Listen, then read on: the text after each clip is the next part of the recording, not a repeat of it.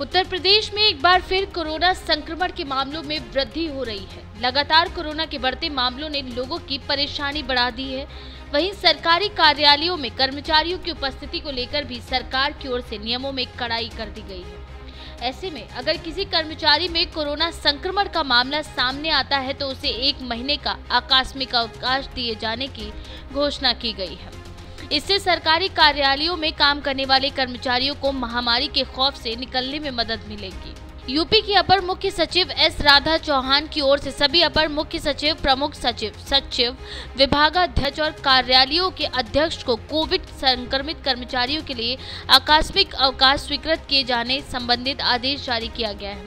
आदेश में साफ़ तौर पर कहा गया है कि कोविड 19 पॉजिटिव पाए जाने वाले कर्मचारियों को अधिकतम एक माह तक की आकस्मिक अवकाश की स्वीकृति प्रदान की जाए। इसके साथ ही कर्मचारी के आवास में किसी के कोरोना होने की स्थिति में अधिकतम 21 दिनों का आकस्मिक अवकाश कर्मी को दिया जाएगा। यूपी सरकार ने आरटीपीसीआर निगेटिव रहने के बाद भी कोविड लक्षणों के आधार पर इलाज कराने वाले कर्मचारियों को भी एक माह का आकस्मिक स्वीकृत दिए जाने का आदेश दिया है।